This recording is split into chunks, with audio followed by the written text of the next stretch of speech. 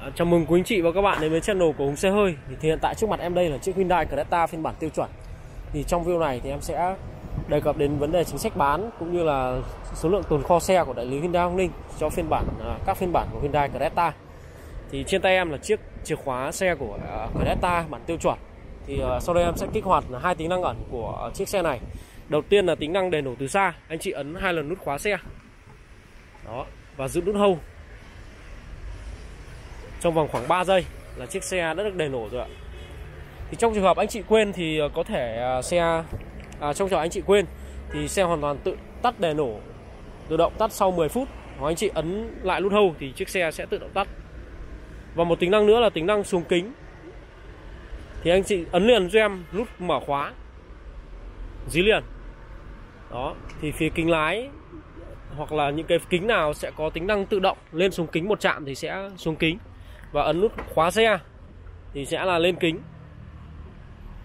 Đó. Về phần giá bán thì hiện tại chiếc Creta bản tiêu chuẩn này bên em à, có mức giá bán tại Hyundai Bắc Ninh rơi vào khoảng 580 triệu. Giá lăn bánh tại tại thị trường tỉnh như Bắc Ninh Bắc Giang. Đâu đó rơi vào khoảng à, 650 triệu và bản đặc biệt thì bên em đang bán với mức giá là 629 triệu và lăn bánh tại thị trường tỉnh nó rơi vào khoảng 700 triệu.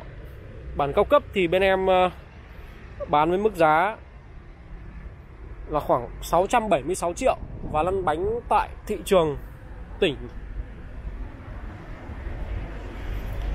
thì nó rơi vào khoảng 755 triệu, thưa quý anh chị. Còn tặng kèm thì bên em có tặng cho quý anh chị là một bộ phim cách nhiệt chính hãng bảo hành 10 năm new xăng trải sàn da bọc vô lăng. Đó. À, giá trên thì đã bao gồm là giá bán cũng như giá lăn bánh thì sẽ có là phí đường bộ rồi thì chi phí ra biển rồi chi phí nộp thuế đăng ký đăng kiểm bảo hiểm trách nhiệm dân sự. Màu xe thì hiện tại bên em có sẵn phiên bản à, tiêu chuẩn này thì sẽ sẵn màu đen trắng đỏ. Bản à, đặc biệt thì cũng sẵn đen trắng đỏ và bản cao cấp cũng vậy. Ta thì chủ yếu là cũng sẵn màu dao những cái tính năng nổi trội của Creta à, vì sao chiếc xe này lại bán chạy nhất trong phân khúc thì uh, em cùng anh chị sẽ đi tìm hiểu một vòng. Về phần đầu xe thì xe được trang bị cụm đèn uh, pha cốt đó kiểu chiếu bi halogen có vòng chiếu projector cụm đèn led định vị ban ngày. Lưới tản nhiệt thì được sơn bóng có logo Hyundai mạ chrome. Hộp số của xe à, xin lỗi động cơ của xe thì được trang bị với động cơ 1.5 lít dẫn động bằng hộp số IVT giả lập 7 cấp số ảo. Đó. Đến phần nội thất thì Creta được trang bị với uh, ghế da cho tất cả các phiên bản này. Rồi tông màu nội thất là màu đen chủ đạo và trần là màu sáng. Nội thất của Creta thì uh, toát lên cái vẻ lịch lãm, sang trọng. Cùng em đèn nổ lên. Thì trên phiên bản uh, tiêu chuẩn này Thì sẽ có những cái tính năng như là hệ thống đèn tự động. Vâng, đèn tự động. Rồi uh, màn hình sau vô lăng thì là màn hình ờ, điện tử thông thường đồng hồ kim là cơ. Rồi đến màn hình giải trí trung tâm thì sẽ có ở đây thì sẽ là màn hình full digital kích thước 10,25 inch. Trên chiếc à, màn hình này sẽ tích hợp các công nghệ Apple CarPlay, Android Auto, bản đồ định vị rồi à, có tính năng cảnh báo tốc độ và những cái vạch báo kẻ đường cho người đi bộ cũng như là các biển báo khác. Điều hòa của xe thì vẫn là điều hòa chỉnh cơ thưa quý anh chị. Còn trên phiên bản đặc biệt và cao cấp thì sẽ là điều hòa tự động.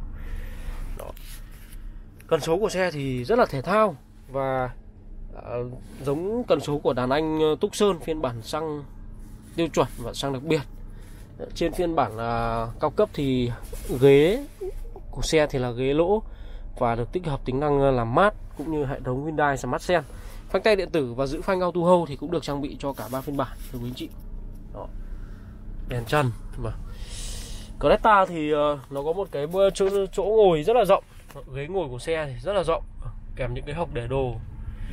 Thiết kế thông minh trên phiên bản ờ, đặc biệt và phiên bản cao cấp thì sẽ được trang bị thêm là 8 loa bâu và hệ thống 6 túi khí. Phiên bản tiêu chuẩn này chỉ được trang bị loa thường và ờ, hai túi khí thôi cùng em đến với hàng ghế thứ hai. Ở hàng ghế thứ hai này thì Creta cũng rất là rộng.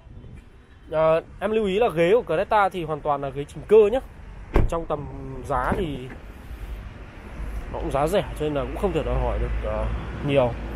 Hàng ghế thứ hai của Creta cũng rất là rộng với độ ngả lưng ghế tốt này. Anh chị có thể thấy là ghế da rất là mịn sờ rất là sướng. Đấy độ à, ngả lưng ghế rộng rồi thì kèm những cái hộc để đồ tiện lợi đèn chân. Về phần uh, đuôi xe thì uh, xe được trang bị cụm đèn hậu. Ở bản tiêu chuẩn này thì là cụm đèn hậu thường. Còn phiên bản uh, đặc biệt và cao cấp là cụm đèn hậu dạng led. Ở đây là tiêu hao nhiên liệu nhé Creta thì chạy rất là tiết kiệm nhiên liệu. Vì động cơ 1.5 mà xác xe của nó cũng không quá nặng. Với tiêu hao nhiên liệu ngoài đô thị là 5,3 lít được kết hợp là 6,1 lít và 7,6 lít trong đường đô thị à, cùng em khám phá chiếc cốp của uh, Creta. Thì Creta có một cái không gian khoang hành lý rất là rộng. Đó cái khoang này thì anh chị có thể để được rất là nhiều vali cũng như là dụng cụ cầm theo khi đi du lịch. Và có những cái hóa lý công tác. Vâng. Cốp của Creta thì vẫn là cốp chỉnh cơ cho tất cả các phiên bản ạ. Đấy, cảm biến thì được trang bị ba cảm biến lùi kèm cam lùi cho tất cả các phiên bản anh chị à, quan tâm đến Hyundai Creta thì xin lòng liên hệ với số điện thoại em để trên màn hình. Em à, cảm ơn và xin chào và hẹn gặp lại quý anh chị trong những video tiếp theo.